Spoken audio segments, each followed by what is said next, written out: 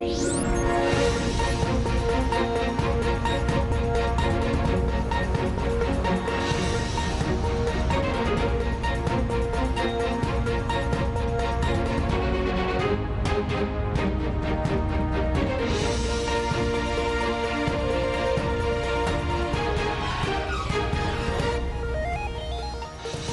السلام عليكم ورحمة الله وبركاته. أهلا ومرحبا بكم مشاهدينا الكرام في نشرة الأخبار الرئيسة من قناة السعودية نستهلها بالعناوين.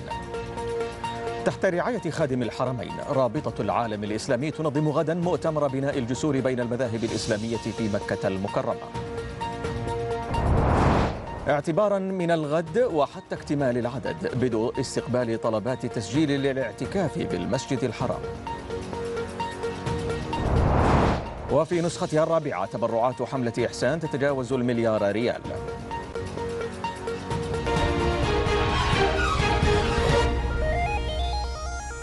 تفاصيل النشرة بسم الله الرحمن الرحيم. تحت رعاية خادم الحرمين الشريفين تنظم رابطة العالم الإسلامي غدا الأحد المؤتمر الدولي بناء الجسور بين المذاهب الإسلامية في مكة المكرمة بمشاركة عدد من كبار الشخصيات الإسلامية من المفتين وكبار العلماء من مختلف المذاهب الإسلامية. ويهدف المؤتمر إلى تعزيز التفاهم والتعاون بين المذاهب الإسلامية إضافة إلى مواجهة خطابات وشعارات وممارسات التطرف الطائفي.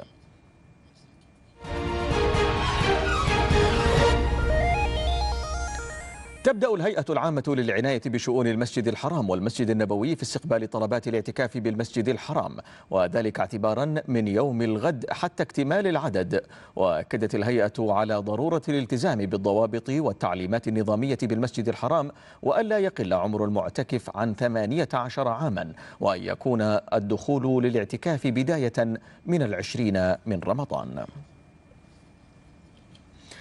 كثفت رئاسة شؤون أو الشؤون الدينية دروسها الدينية في إطار خطتها لشهر رمضان المبارك في جميع مواقع المسجد الحرام إثراء للتجربة الإيمانية بهدف تهيئة البيئة التعبدية للقاصدين والزائرين. كما أن مناشط الدروس الدينية في المسجد الحرام مستمرة على مدار الساعة بالإضافة إلى وجود باركودات لتوضيح أماكن الدروس والمحاضرات بحيث يتوجه الزائر إلى الدرس الذي يريده مباشرة. أكد الوكيل المساعد للخدمات التطوعية بالمسجد النبوي نايف المطيري أن الهيئة العامة للعناية بالحرمين تفعل دور التطوع في خدمة ضيوف الرحمن مع إضافة خدمات تطوعية جديدة خلال شهر رمضان المبارك. موسم رمضان يكون هناك فيه اهتمام أكثر من خلال الأعمال التطوعية وجهد أكثر في تقديم الأعمال التطوعية لخدمة ضيوف الرحمن وذلك من خلال توزيع وجبات الإفطار والمساندة في إرشاد الإرشاد المكاني وتنظيم الحشود. وكذلك الآن تم توفير في موسم شهر رمضان المبارك مبادرة تطوعية نوعية وهي استقبال ضيوف الرحمن على مداخل الساحات والترحيب بهم في دخولهم للمسجد النبوي الشريف. أطلقت جمعية هدية الحاج والمعتمر الخيرية وذلك بإشراف مع الهيئة الملكية لمدينة مكة المكرمة والمشاعر المقدسة مبادرة المصليات المؤقتة امتدادا لصفوف المصلين بالمنطقة المركزية في الطرق المؤدية للمسجد الحرام بطريق المسيال وطريق إبراهيم الخليل حيث تهدف المبادرة إلى توفير مصليات مهيئة للمصلين في الطرق المؤدية إلى ساحات المسجد الحرام.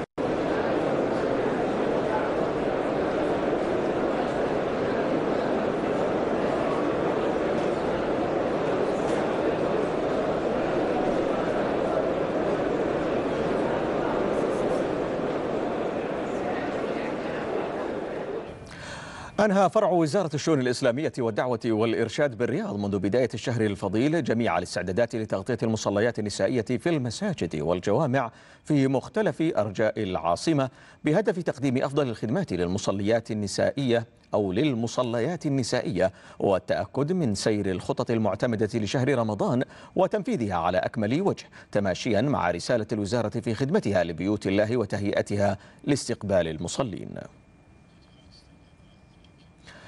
دشنت وزارة الشؤون الإسلامية والدعوة والإرشاد هدية خادم الحرمين الشريفين الملك سلمان بن عبد العزيز آل سعود من التمور لجمهورية بولندا بمناسبة شهر رمضان وذلك بحضور سفير خادم الحرمين الشريفين لدى بولندا سعد الصالح ومفتي جمهورية بولندا ومندوب وزارة الشؤون الإسلامية والدعوة والإرشاد.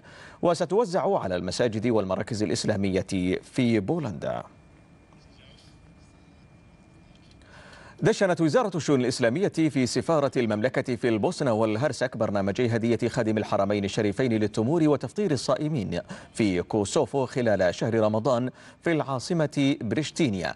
وذلك حيث سيتم توزيع خمسة أطنان من التمور يستفيد منها قرابة عشرين ألف مسلم ومسلمة.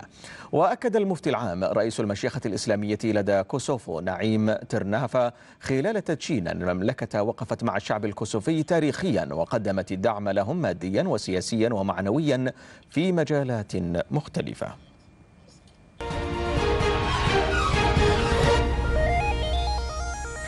تجاوزت تبرعات الحملة الوطنية للعمل الخيري في نسختها الرابعة عبر منصة إحسان المليار ريال منذ إطلاقها متجاوزة جميع النسخ الثلاث السابقة.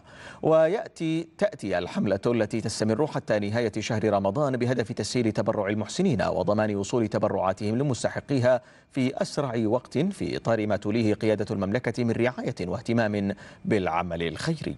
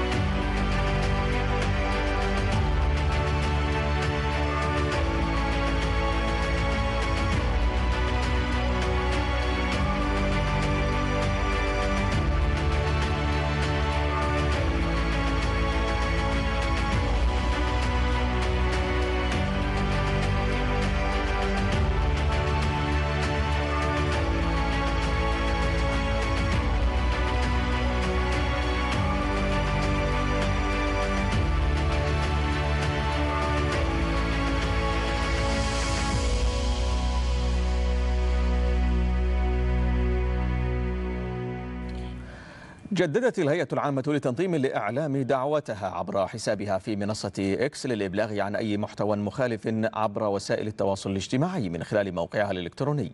يأتي ذلك ضمن حملة الهيئة معا ضد المحتوى المخالف للارتقاء بالمحتوى المحلي.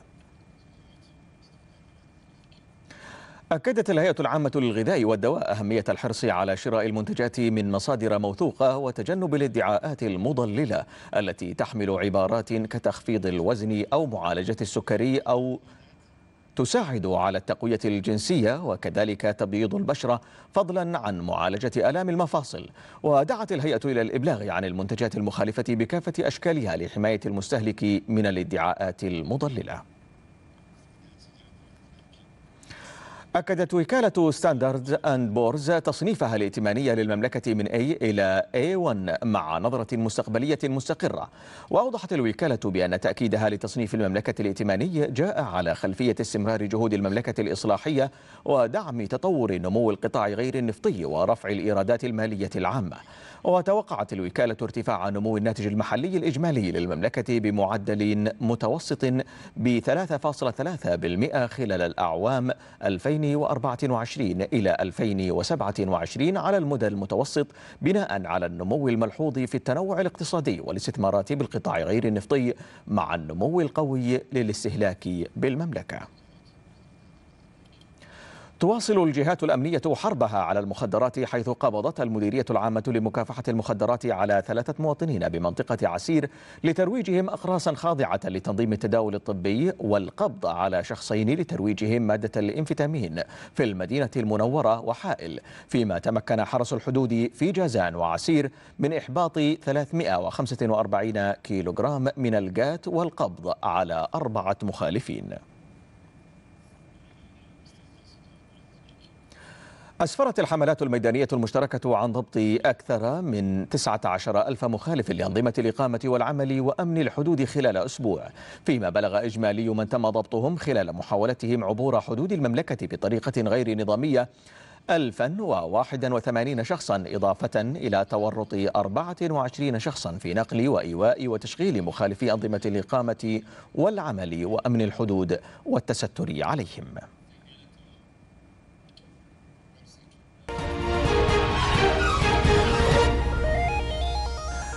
شهد وزير البيئة والمياه والزراعة المهندس عبد الرحمن الفضلي إعلان تحالف سعودي لتأسيس شركة تعنى بقطاع التربية الحيوانية المكثفة لإنتاج اللحوم الحمراء من خلال توقيع اتفاقية شراكة بين الشركة الوطنية للتنمية الزراعية نادك والشركة المتحدة للأعلاف إحدى الشركات التابعة لمجموعة المهيدب. وأوضحت الوزارة أن هذا الإعلان يهدف إلى تعزيز الأمن الغذائي والمساهمة في تحقيق الاكتفاء الذاتي من اللحوم الحمراء وبناء منظومة متكاملة في قطاع الثروة الحيوانية. غادرت مطار الملك خالد الدولي بالرياض الطائرة الإغاثية السعودية الرابعة عشرة التي يسيرها مركز الملك سلمان للإغاثة والأعمال الإنسانية وتحمل على متنها 80 طنا من المواد الإغاثية متوجهة إلى مطار زوسوف البولندي القريب من الحدود الأوكرانية. وتشتمل الحمولة على مولدات وأجهزة كهربائية تمهيدا لإيصالها عبر الحدود البولندية لداخل أوكرانيا. ويأتي ذلك في إطار دور المملكة بالوقوف مع المحتاجين والمتضررين حول العالم في مختلف الأزمات والمحن التي تمر بهم. نشرتنا مستمرة وفيها بعد الفاصل. الأرصاد تتوقع حالة مطرية على معظم المناطق والدفاع المدني يجدد تحذيراته.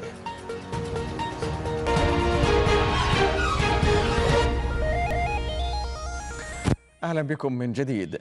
يواصل مركز الملك سلمان للإغاثة والأعمال الإنسانية توزيع مساعداته الإنسانية على المتضررين الفلسطينيين في قطاع غزة وذلك ضمن الحملة الشعبية لإغاثة الشعب الفلسطيني حيث وزع المركز السلال الغذائية على النازحين في مراكز الإيواء في محافظة رفح جنوب قطاع غزة.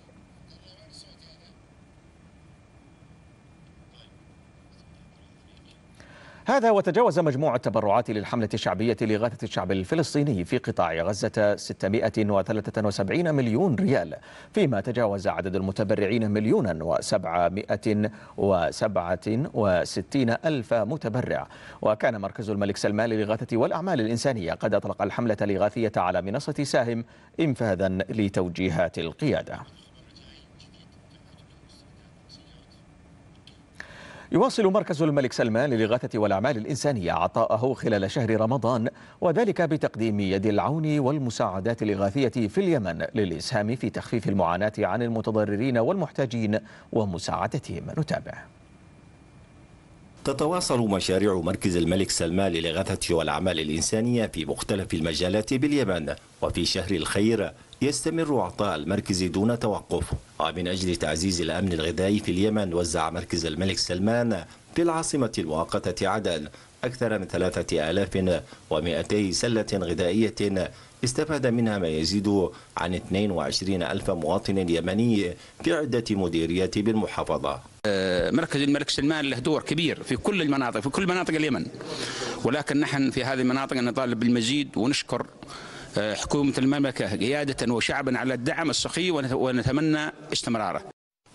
مشروع المساعدات الغذائية المنقذة لحياة الأسر الأكثر احتياجا في اليمن يعد أحد المشاريع الإغاثية ويعمل على أكثر من 119 ألف سلة غذائية يستفيد منها ما يزيد عن 170 ألف شخصا من الأسر الأكثر احتياجا في خمس محافظات يمنية. يدشن في مديرية الشحر في مدينة الحامي توزيع السلة الغذائية للمحتاجين من أبناء هذه المديرية في إطار المساعي التي تسعى إليها مركز سلمان لإغاثة المتضررين من الحروب.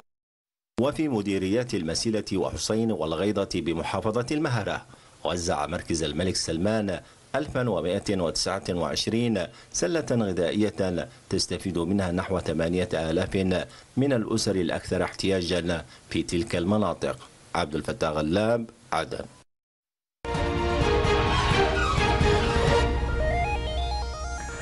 وعن حالة الطقس في المملكة توقع المركز الوطني للأرصاد استمرار فرص هطول أمطار رعدية متوسطة إلى غزيرة مصحوبة برياح نشطة وزخات من البرد وجريان السيول على أجزاء من منطقتي جازان وعسير. في حين تتهيأ الفرصة لهطول أمطار رعدية مصحوبة برياح نشطة وأتربة مثارة على أجزاء من مناطق الباحة ومكة المكرمة والشرقية والأجزاء الجنوبية من منطقة الرياض. كما لا يستبعد تكون الضباب على الأجزاء الساحلية من المنطقة الشرقية. والقصيم والحدود الشمالية طريف والجوف والقريات وقد يطرأ انخفاض في درجات الحرارة على أجزاء من مناطق الحدود الشمالية الجوف تبوك وحائل والقصيم. هذا وحذر الدفاع المدني من هطول أمطار رعدية ورياح سطحية على مناطق الرياض والشرقية والقصيم داعيا إلى ضرورة أخذ الحيطة والحذر واتباع تعليمات السلامة خلال الاضطرابات الجوية.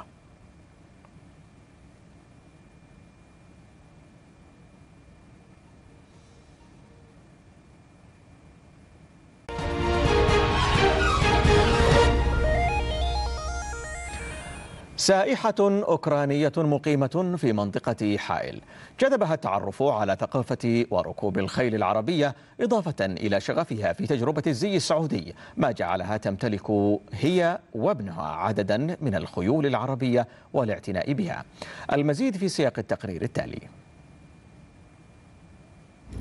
عشق الخيل العربي أصبح عابرا للقارات حتى استوطن في قلب سائحة أوكرانية مقيمة في المملكة. And when I moved to Saudi, I started learning a lot history, and uh, I found a lot uh, similar between Ukrainian culture and uh, Arabian culture. And even this scarf, yeah, you can say it's uh, Arabian Bedouin scarf, but not. I bring this from Ukraine, and it's my nationality scarf.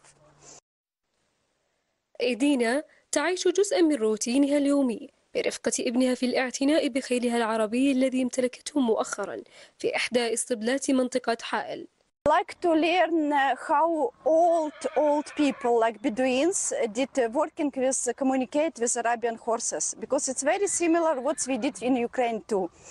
They working by body language, it's what they're using and uh, energy. So for me interesting with uh, people who based in Hail, who originally from Hail, to ask and uh, change our experience. اهتمامها بالتاريخ العربي. قد شغفها حبا حتى باتت تبحث عن كيفية تواصل العرب قديما مع الخيل. انتهى باكتشافها مدى التشابه بين الثقافتين العربية والأوكرانية.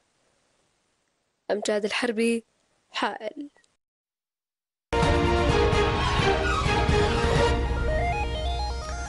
زار النائب العام والشيخ سعود المعجب فرع نيابة الحج والعمرة بمنطقة مكة المكرمة حيث التقى رؤساء وأعضاء النيابات ومنسوبيها. وأكد النائب العام أن الغرض من إنشاء فرع النيابة بجانب الحرم المكي هو لخدمة ضيوف الرحمن وأن يلقى الحاج والمعتمر العناية التامة والعدالة والإنجاز. كما أكد على تفعيل واستخدام خاصية الذكاء الاصطناعي خاصة في الترجمة بجميع اللغات التي من شأنها التسهيل على الحاج والمعتمر.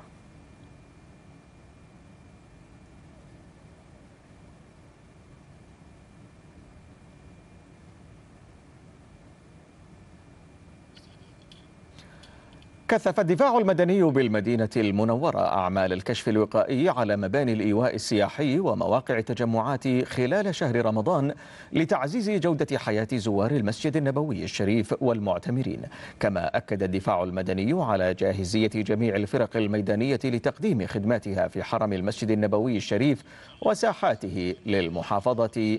على سلامة مرتدي المسجد النبوي وأداء مناسكهم بكل يسر وطمأنينة.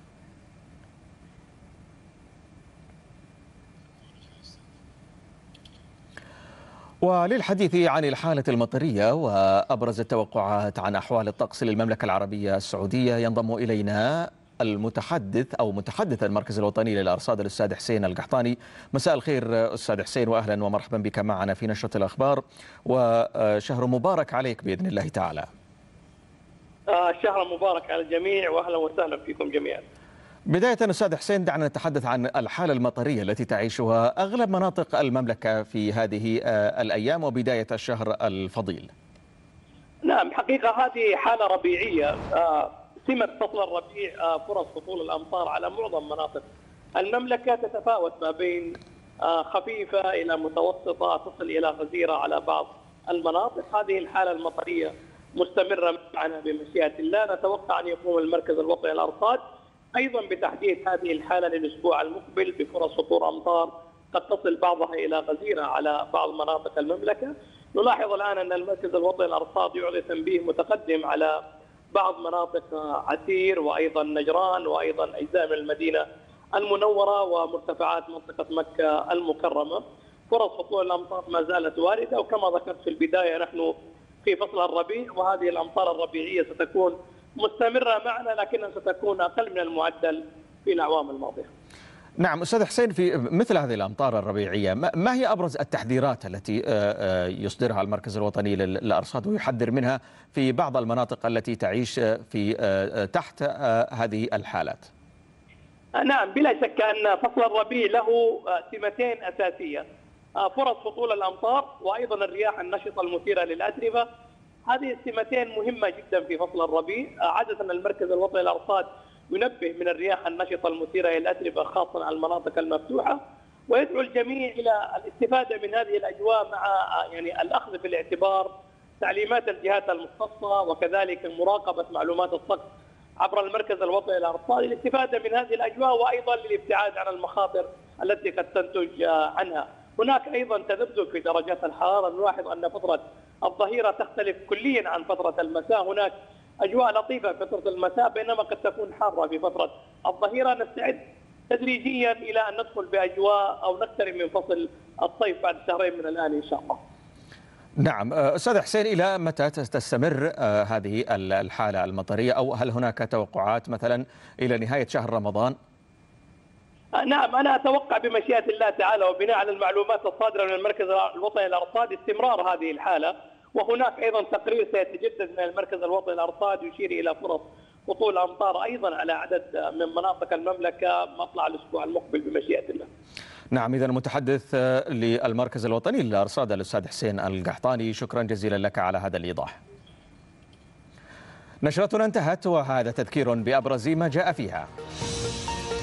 تحت رعاية خادم الحرمين الشريفين رابطة العالم الإسلامي تنظم غدا مؤتمر بناء الجسور بين المذاهب الإسلامية في مكة المكرمة.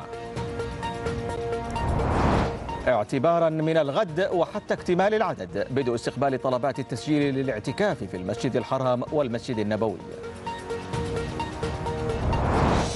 وفي نسختها الرابعة تبرعات حملة إحسان تتجاوز المليار ريال. شكرا لكم مشاهدينا الكرام على طيب المتابعة ودمتم في رعاية الله وحفظه.